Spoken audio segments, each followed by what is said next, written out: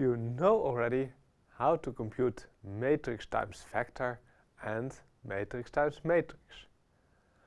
You may have wondered why we defined the matrix vector product in such a strange way.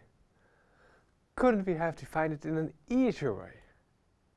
Well, probably we could, but it is of course defined like this because of some hidden purpose.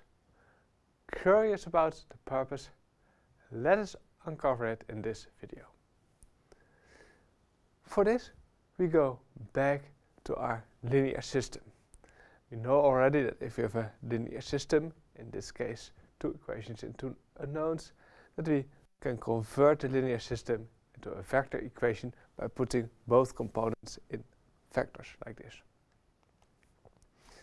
And if we go on, we can uh, write the vector over here as two vectors, one with the x1 and one with the x2.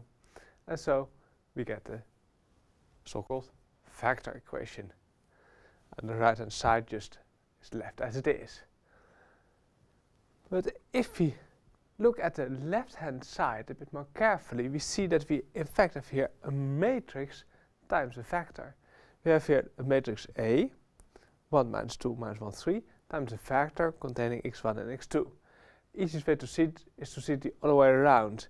If you work out the left hand side, the matrix, times the vector, you get x1 times the first column plus x2 times the second column.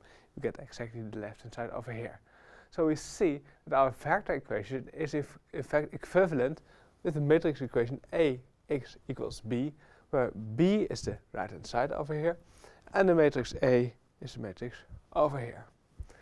And then we are back at the uh, first part of linear algebra, where we formed the augmented matrix. We started with this linear system over here, and we formed the augmented matrix in order to solve it with like this. 1 minus 2 minus 1, first row, and minus 1, 3, 3, second row. We formed an augmented matrix. And now you know why this object is called an augmented matrix.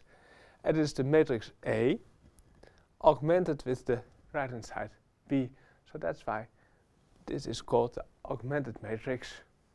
So let's summarize. We have a linear system. We can rewrite that in terms of a vector equation. Now we know that this vector equation is equivalent to matrix equation Ax is b and that the matrix equation is equivalent to an augmented matrix which we use to solve the linear system